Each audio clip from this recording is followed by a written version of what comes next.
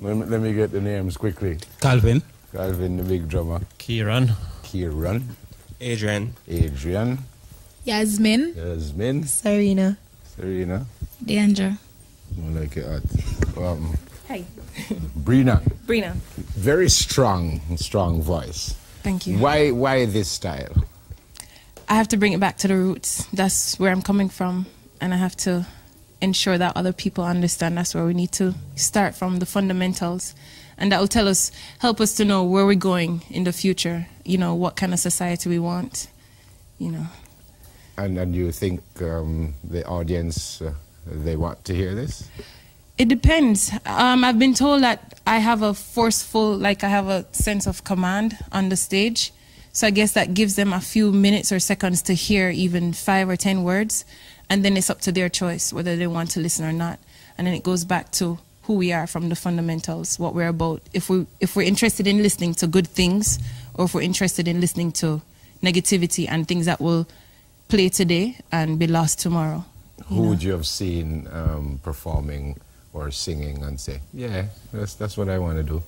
Or is this just all about you? You wanted to do this from a long time? It started with my parents, mommy and daddy, Sylvine and Mervyn Ward from Richmond district in Manchester. Look, my that's what it does. Oh, Everybody mommy and daddy on happy belated birthday too, and my sister Kino.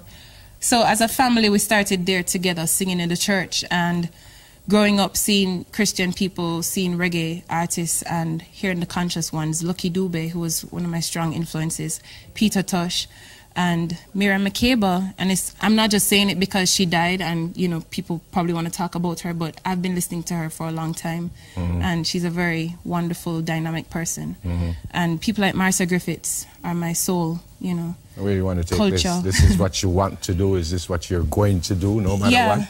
it is what I'm going to do, and I need to use the, the world as my stage to spread a message of message of love and unity and Mhm. harmony. I've been told that you've been touring around the world. What? I've I've actually gone on tour with Cocoa Tea to do background vocals for him, and we were in Germany this year. So I've But, done. but style is, is a lot different from what I'm completely different. And so what I find is that many ladies step out and do background vocals and they do harmonies for many persons who it's probably not their style, but it's up to them if they want to stay there or they want to go towards where their niche is and do their what their true calling is.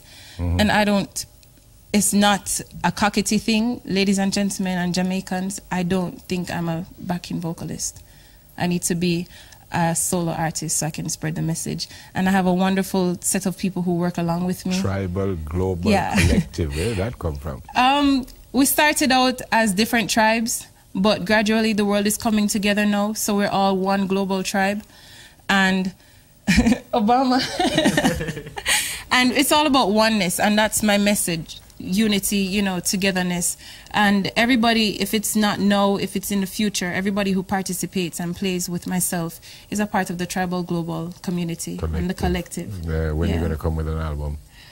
I'm hoping if I'm if I'm assisted financially to get all the, the right musicians in the right place. Where are you going to get that assistance?